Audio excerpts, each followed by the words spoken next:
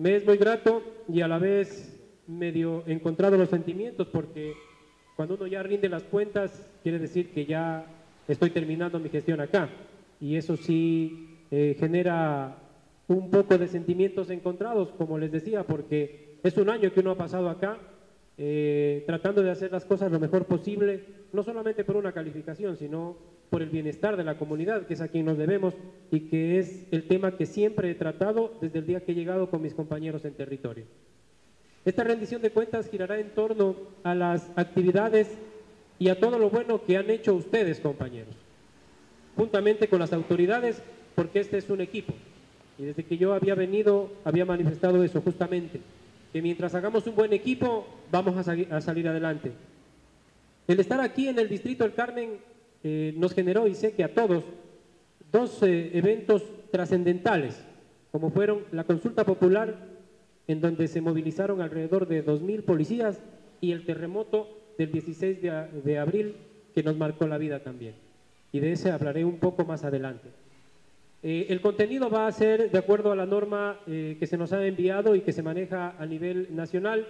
Voy a hablar un poco de la evolución de la estructura policial, de la misión de nuestra institución, de los objetivos institucionales que tenemos, de las estrategias institucionales, del comparativo de delitos y la productividad que, que se ha generado con el trabajo que han realizado cada uno de ustedes, de los ejes transversales de policía comunitaria como punto de encuentro e intercambio de ideas entre policía y comunidad, en donde generamos la trilogía del éxito, policía, comunidad, autoridades, que nos ha dado muchos buenos resultados.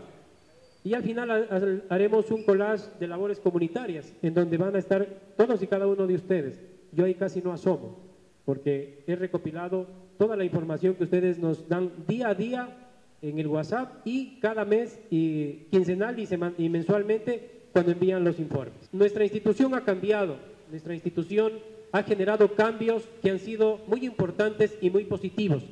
Hablamos de que antes teníamos una, una policía con servicios eh, disgregados, es decir, la policía judicial trabajaba por su lado, el tránsito hacía su trabajo y cada quien veía cómo hacerlo dentro de, de su oficina.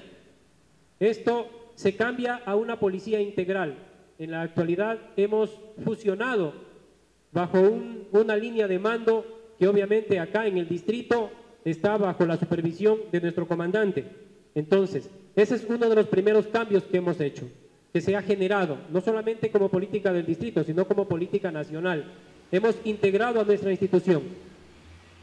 Hemos tenido una policía eh, de, formación militar, de régimen militar, en donde todo se ha, eh, nos manejábamos con una ideología diferente en donde pensábamos que el policía tenía enemigos y nosotros no tenemos enemigos, tenemos adversarios, infractores de la ley, personas que infringen la ley, que no necesariamente son delincuentes, que no necesariamente son personas agresivas.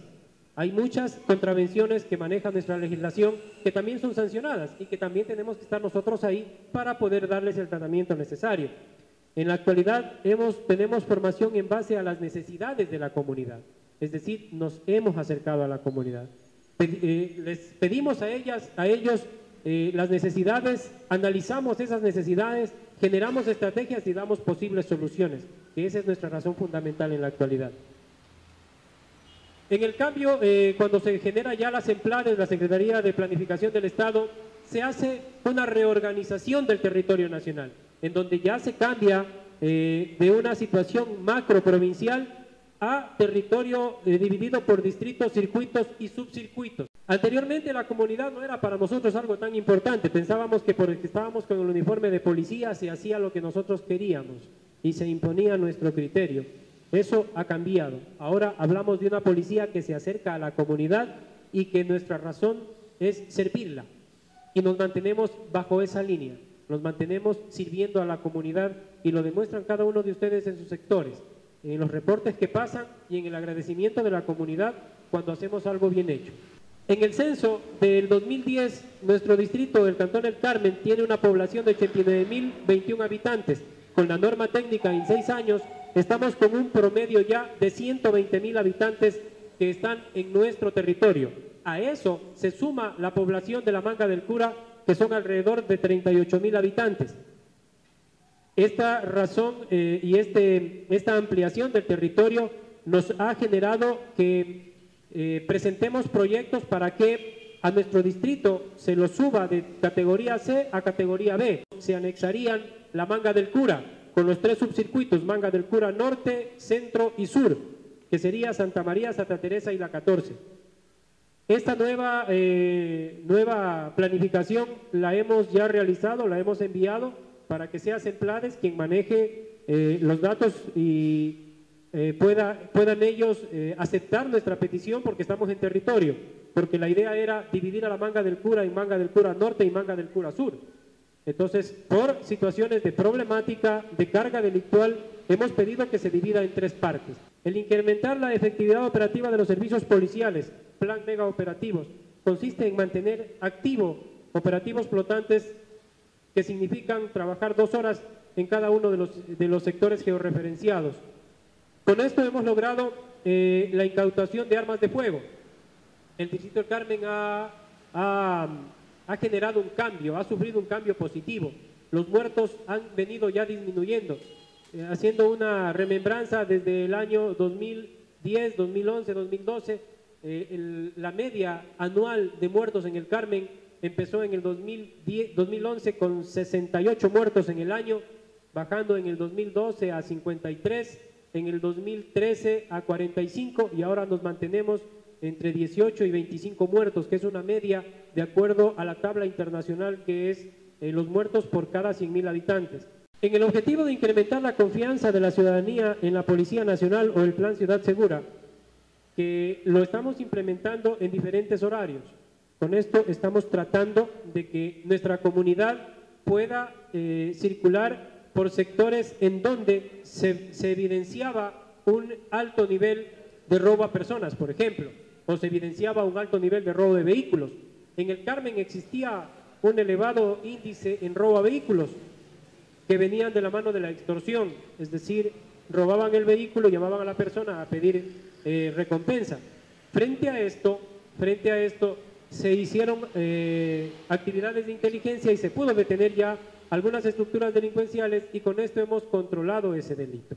Por situaciones de, de, de pensar en una imagen corporativa, no podemos permitir que la institución siga siendo mancillada por algunos compañeros, mal llamados compañeros, que se dedicaron a extorsionar a la comunidad. De ese tema hemos conversado con la mayoría y nos hemos comprometido. Y es así que no, no se han presentado ya casos mayores a los que se dieron hace exactamente un año, cuando yo llegaba con el pase y detenían a, una, a un compañero del, de un servicio de inteligencia aquí en el cantón y se llevaban detenidos algunos compañeros. De ahí en adelante hemos tratado de que esto no, no se repita y ahí va el compromiso de cada uno de ustedes.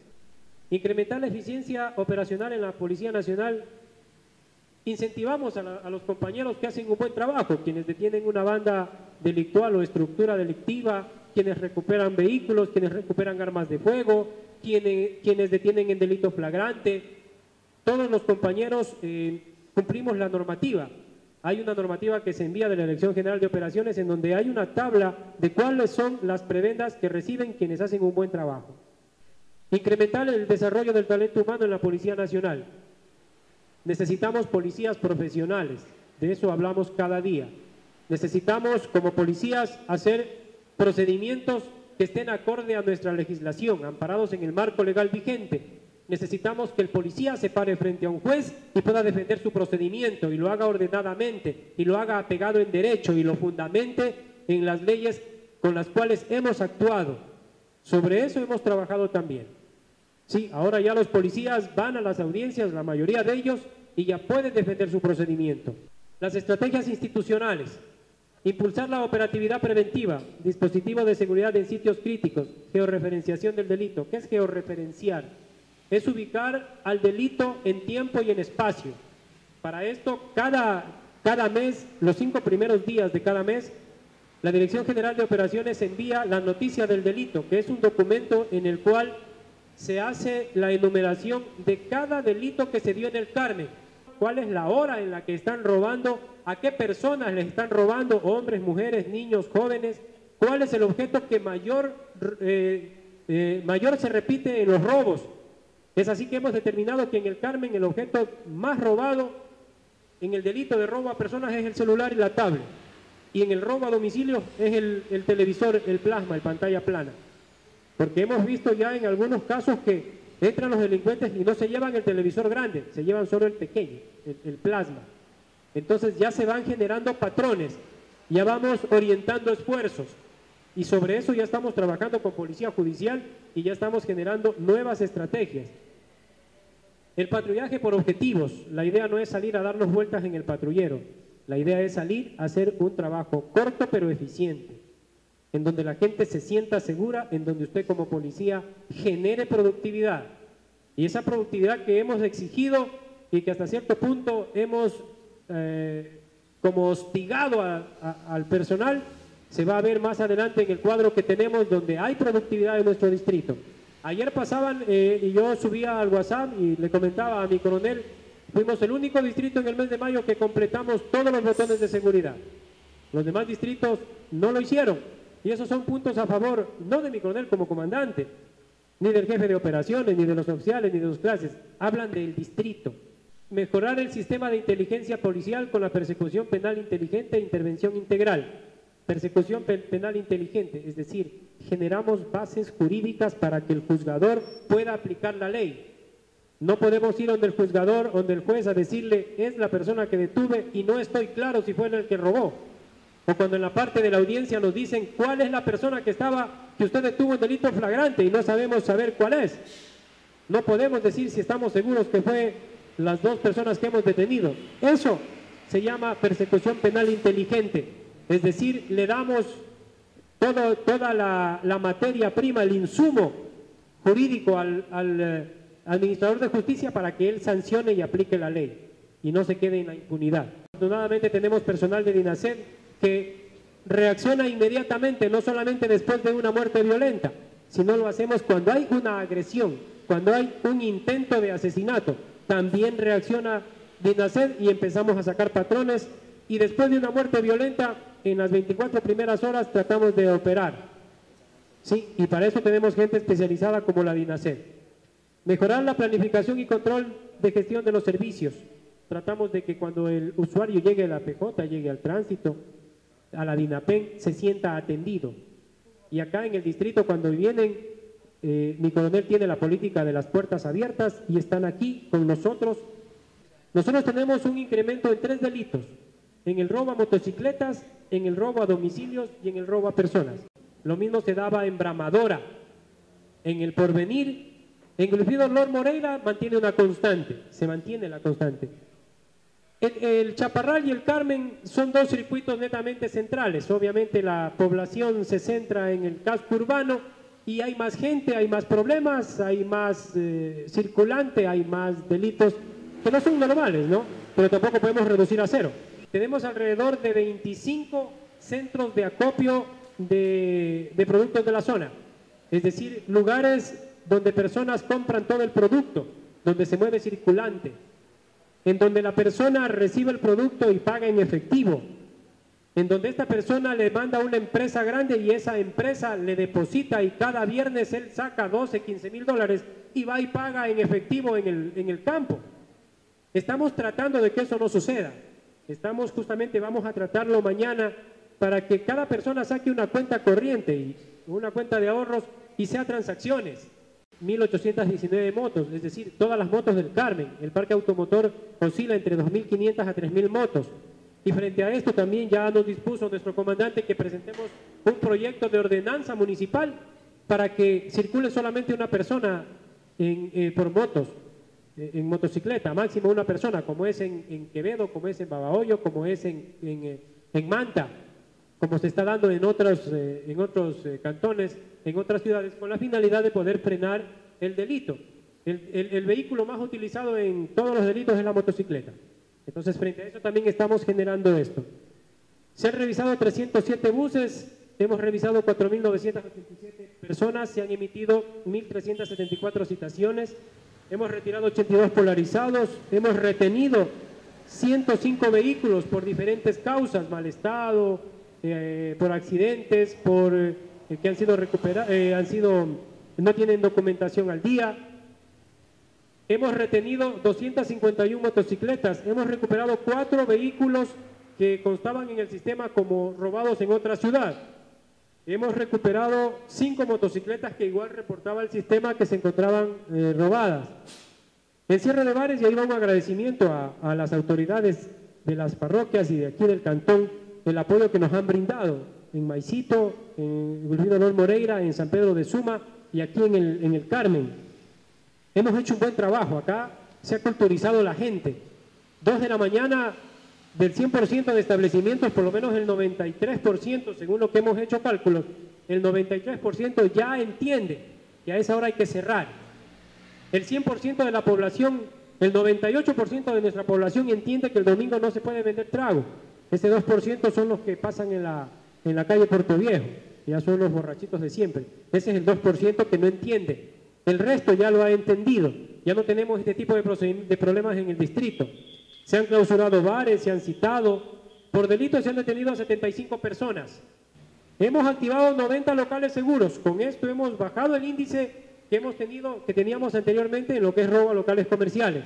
Hemos activado 675, cuando venimos habían alrededor de 180 botones de seguridad activados.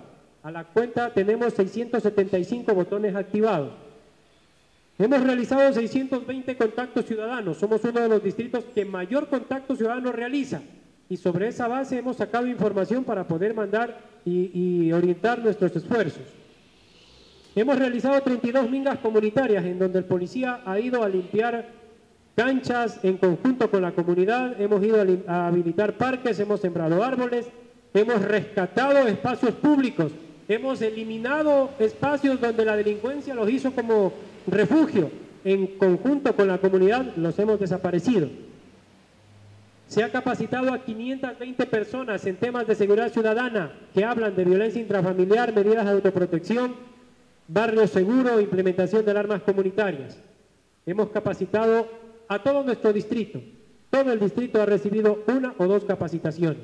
Entidades públicas que estuvieron preparadas en los sismos fueron los establecimientos educativos, en donde se anclaron al proyecto Policía Comunitaria en los, eh, las coordinaciones interinstitucionales entre el Ministerio de Educación y el Ministerio del Interior, en donde hemos generado planes de contingencia y que los fuimos a supervisar, en donde todas estas criaturas están ya mentalizadas qué hacer frente a un sismo y eh, frente a un evento adverso, no específicamente un sismo. Eh, el último, las últimas réplicas seguidas se evidenció más organización. El día de ayer eh, y la semana pasada mi coronel comandante había solicitado y puesto a, criterio de la mesa del, del, del COE para que del COE cantonal para que se empiece un, un cronograma de capacitaciones a la comunidad, para que la comunidad de nuestro distrito sepa qué hacer frente a un movimiento sísmico. Ya casi culminando están los dos eventos que nos marcaron mientras estuvimos acá en el distrito. Cuando manejamos las, las elecciones de la manga del cura, pudimos evidenciar diferentes actividades, acciones, profesionalismo de ustedes como policías, nosotros lo que hacíamos era coordinar, me tocó coordinar desde el inicio con el Consejo Electoral, con las autoridades, y también ahí se dio el apoyo que nos dieron la alcaldía, la jefatura política, los tenientes políticos, la comisaría, cuando hacíamos este tipo de mítines políticos, en donde era impresionante ver nosotros parados en la mitad, parados aquí en la mitad que dividía una calle, parados 10 policías y de nuestro lado derecho 600 personas y del lado izquierdo 600 más. Ahí fue el liderazgo de las UPCs de la 14, de Santa María, de, Santa Teresa, en donde cinco policías mantenían una muchedumbre de 600 personas, solamente con la verbalización. Que nos visitaron, fuimos poco internacional, porque vinieron observadores de, de Naciones Unidas y vieron cómo seis policías dividían mil personas y vieron el trabajo profesional. Y nuestras autoridades, nuestro ministro, incluso el señor presidente estuvo pendiente, el presidente del Consejo Electoral, en la última reunión que tuvimos ya para finiquitar el tema, en donde se ampararon 100% en Policía Nacional. Y nosotros tenemos esa fortaleza de que Santa María, Santa Teresa, la 14, Bramadora, se manejan bien en territorio. Y nos llamaron de todos los estamentos habidos y por haber, nos llamaron todas las autoridades a pedirnos sugerencia a la Policía Nacional. ¿Dónde eran los recintos electorales? ¿Dónde se hacían las cuentas intermedias? ¿Cómo se hacía el censo en la casa, el censo a personas con capacidades especiales?